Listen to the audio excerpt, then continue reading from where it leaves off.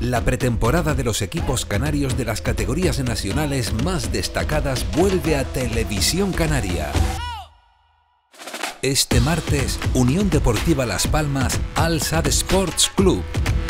Y el jueves, Unión Deportiva Las Palmas Granada Club de Fútbol. Esta semana la pretemporada llega a Televisión Canaria.